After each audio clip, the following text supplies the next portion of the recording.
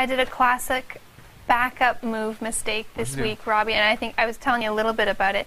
But I had saved all my papers that I was working on for school on my USB because I got my new computer and I wasn't saving my files on my computer, just on my USB. Lost my USB. Was very You distraught. lost it physically? I lost it.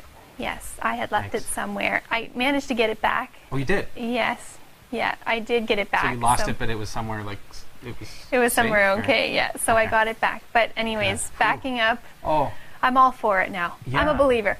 so, so if you're backing up to one of these guys, uh, or or saving your stuff here so that it's only here, they're not very reliable either.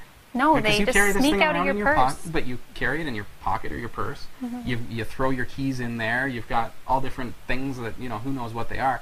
These things can lose data. They can they can crash, and you need to I didn't know reformat that. them. Yeah. I didn't know that. So you got to be careful with that. Yeah. So if you're going to use that as a as a way to move data back and forth, Mhm. I would recommend keeping a copy on your laptop Yeah. or, or somewhere else at the same time. I will definitely do that now. Mhm. that would have been scary. It was scary.